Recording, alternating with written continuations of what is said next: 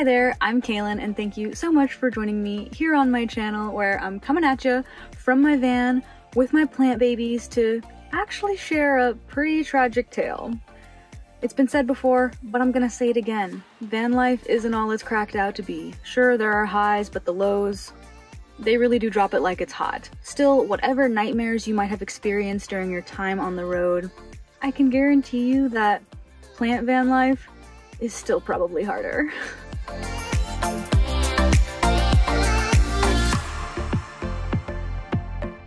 Back to the tragic tale. So, once upon a time, there was a crazy plant lady who decided she was going to give up her entire kingdom of jungle buddies to instead explore the wild garden wilderness that is Mama Nature. Still, she couldn't part with all of her babies, so she ended up bringing four plants in the van because that seems like a reasonable amount, right? Right? Pretty reasonable. Now, this wasn't her first rodeo when it came down to plant care. She knew that she was picking hardy varieties to come along for the ride, ones that would be able to withstand a variety of conditions and weren't too needy overall. What she didn't know was just how easy it was for a live plant to take a spill in the back of a moving vehicle. After a few tearful months of uprooting and miserable soil sweeping sessions, not a single plant was left standing. This was a plant queen who went from tending to an entire kingdom of jungle buddies, some 200 members strong, to not even being able to keep basic beginner houseplants alive, like pothos or snake plant. If it's not already obvious, that plant lady is me. Yes, I did bring some plants in the van and I killed every single one of them. But after tending to an experimental plant from a grocery store in Oregon, keeping it alive for a few months, I knew it was time to repopulate my empire. And so I visited one of my favorite garden ladies in Arizona and dug up a few houseplants from her backyard. That alongside having brought back some plants that I left with some people who aren't doing so hot, doesn't matter. I have a new kingdom to rehabilitate, take care of, and grow into a flourishing jungle. I truly feel like I have gotten my green thumb back when it comes down to taking care of plants in a van, any sort of moving home situation. I got you, and I'm coming at you with some tips, tricks, and a whole routine that is going to help you grow your own little jungle no matter where you may be roaming. If you didn't already gather this from my previous story, the number one most important thing to consider when it comes down to taking care of plants in a van, anything moving, is stability. You want to make sure that your plants are stable. They, they do not want to be thrown about. That is a very quick way to murder them. My god, please make sure they are stable or you're going to have a repeat of my genocide from last year. There is nothing stable about plant van life, so taking this little extra step when it comes to securing their lifestyle a little bit is really going to help them thrive.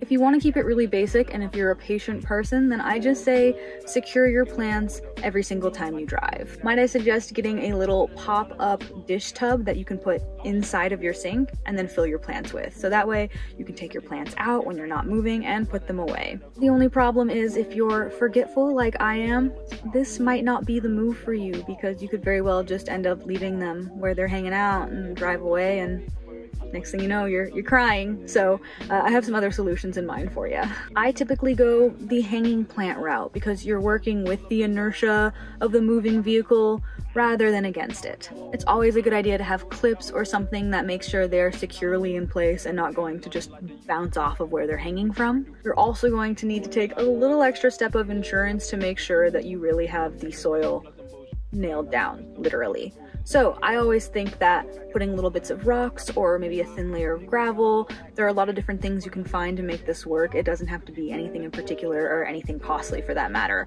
Just putting a thin layer of heavier materials on the top of your soil is a great way to make sure you're not getting a thin eruption of powdery soil dust every single time you hit a bump. I also make sure to keep the general soil level of the plants a lot lower inside the pot, even going as far as to pick pots that are a little bit higher in order to make sure that I can keep the soil level lower so there's all of this pot rim to keep the soil from bouncing out. As you can see, these are really foolproof, easy, intuitive ways, either just making sure the soil level is a little lower so it's less easy to spill, or literally weighing the soil down. If you're someone who goes off-road a lot and is generally just on a lot of bumpy roads, this probably isn't going to cut it. You're gonna need to take it a step further, but it's a pretty simple solution. All you gotta do is put a thin layer of pantyhose either over the top of your pot or just around the pot, give it like a little snug wrapping. This is really going to make sure that no matter how much it sways or even if it completely falls over, a lot of that soil is going to be contained. Still, the pantyhose allows for breathability, air circulation, and for you to still be able to water the plant over the top. Alright, now on the topic of water, we'll be moving right along. This is pretty straightforward. If you need a little bit of help on watering plants overall, I recommend you go and check out my full video on it, but these tips and tricks are specifically adapted to the van plants. I always find watering outside helps to prevent a mess, whether you're posted up at a park, camping. pick those plants outside for a little fresh air while you give them a water when you're camping, sometimes there's even little tree branches. The trees want to help you take care of your plants. It's a, it's a big fun situation. If I have no choice but to water in the van, I do have this little collapsible dog dish that I can pop open and water the plants inside to prevent a mess. As I said before, van plant life, it's challenging, it's unpredictable. Sometimes the plants are experiencing a bunch of wind, sometimes it's really cold, sometimes it's really hot.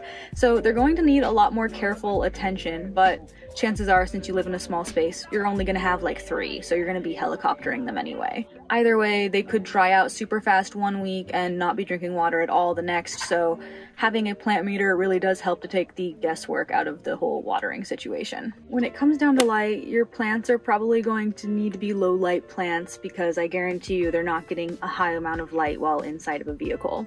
By all means, definitely try with high light plants if you would really like to have them, but just make sure that they are getting an adequate amount of light throughout the day, which is going to take a little bit more effort on your part. I always like to make sure if I'm just chilling with the door open in the van, I move all of my plants towards that light source so they get a little bit of light action, especially if I have spent a long amount of time hiking that day where all of the doors were closed, all of the window covers were up, the plants were hanging out in the dark, so you just want to be mindful of how much light they're getting per day.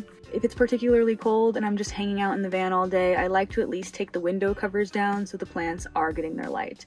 If you need suggestions for good low light house plants, then you can actually just check out my full video on it. So now when it comes down to repotting your plants, once again, you might want to find a nice outdoor space to do this to keep the mess outside of your home, meaning go to a park, go camping, something along those lines where you have a little bit of space outside to take care of your plant babies chances are you're not going to want to be riding around with a big old bag of potting soil in your van. So definitely try to get a smaller bag at grocery stores or some nurseries have them. They make half-size bags, which are going to be a lot better.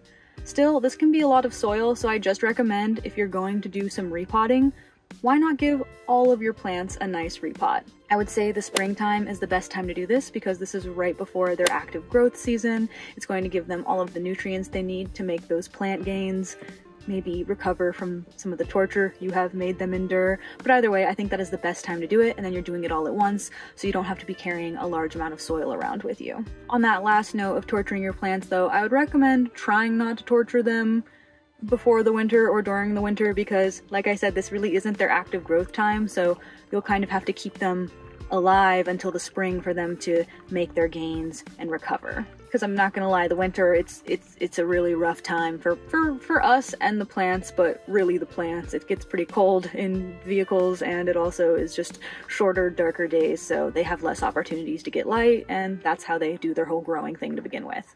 And there you have it. I really kept this one short and sweet because these are tips and tricks specifically adapted for nomadic plant keeping. But if you need help in the plant keeping realm in general, definitely be sure to check out my older videos. I have everything covered from light to watering to repotting. And then you can come back here for your specific needs when it comes to gardening on the road.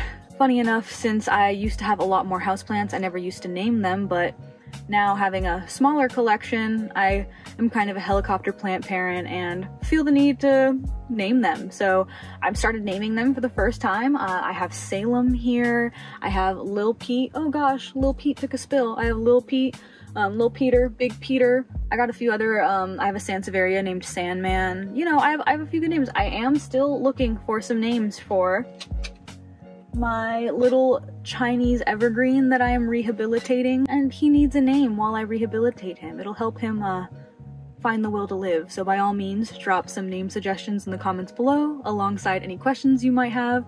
I am happy to help. Overall, I love having you along for the ride, so please do subscribe and I'll be catching you next time. And tormenting your plants in the winter,